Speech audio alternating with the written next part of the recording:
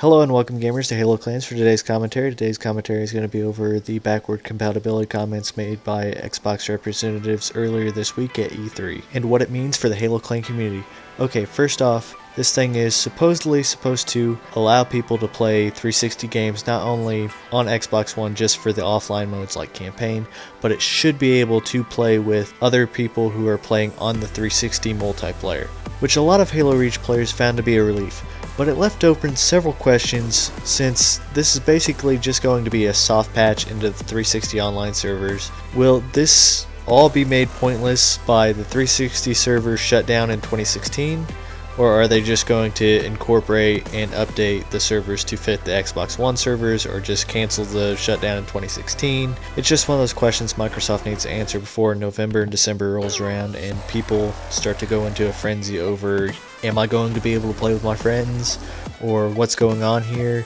The next thing is I do feel like this whole backward compatibility thing would help bring more people over to the Xbox One and prep for Halo 5 because that way they really aren't leaving their old clanmates back on a dead console and it'll help develop new Xbox One hype and build hype for the new Halo games and really get back to where Halo was back at the height of Reach and maybe even be like press on beyond Reach because we kind of get stuck in this mindset of oh Reach was the best thing ever.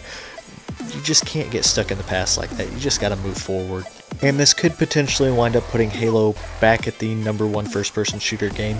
But like I said before, this all would become null and void if Xbox continues with the rumored 2016 shutdown of 360 servers. So I still believe this will help make the switch easier for some clans, but you know, there's a lot of skepticism in the air here.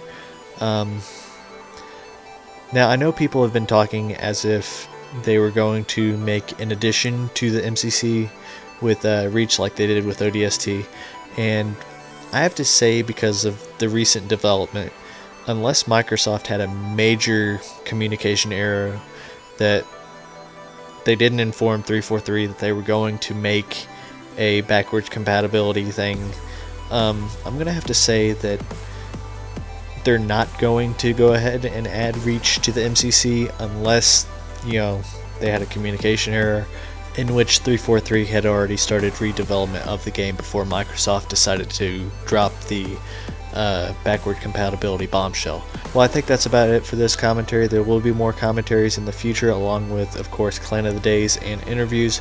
So don't forget to rate, comment, and subscribe, and see you guys next time.